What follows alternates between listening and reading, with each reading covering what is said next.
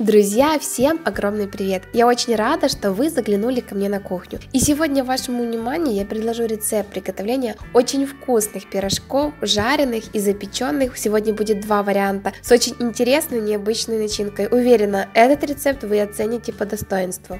И, как всегда, начинаю с приготовления теста. Берем теплую воду и добавляем сюда сахар. Добавляем дрожжи, перемешиваем и оставляем на минут 5-10. Это делается для того, чтобы проверить, хорошие ли дрожжи. И посмотрите через 5 минут, как все хорошо вспенилось. К часть муки просеиваем и я добавляю сюда все ингредиенты. Дрожжи, молоко,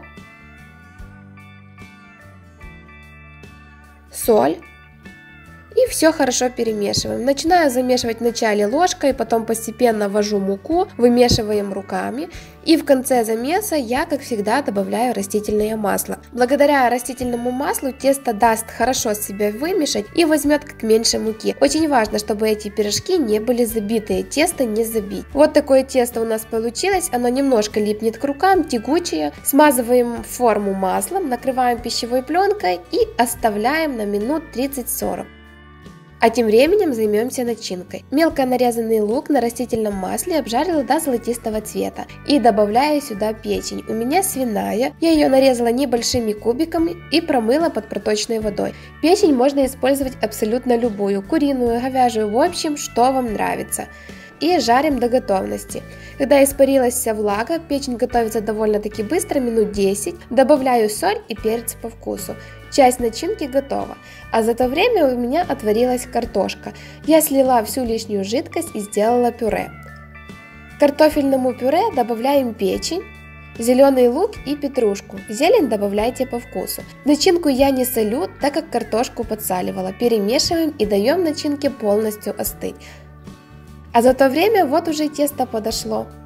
Смотрите, какое оно хорошее, очень нежное. Как только начинаю с ним работать, оно уже сразу пузырится, очень мягенькое, немножко его обминаю.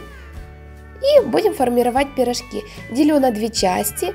Каждую из частей я также делю на части. Половину шарика я делаю побольше, а половину поменьше.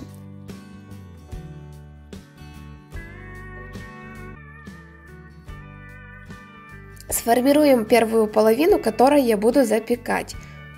Начинки добавляю много, так как люблю пирожки, чем больше начинки, тем они вкуснее, тем более такая вкусная и необычная начинка. Первый вариант вот такой вот я делаю, это для запекания. Отправляю на форму, которую смазала растительным маслом.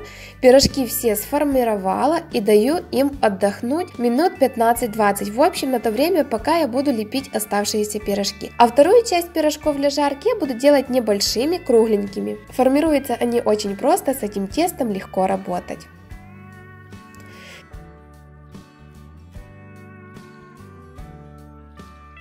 И вот пока я сделала все пирожки, те, которые буду запекать, уже подросли, смазываю желтком и отправляю всю духовку, разогретую до 180 градусов на 40-50 минут.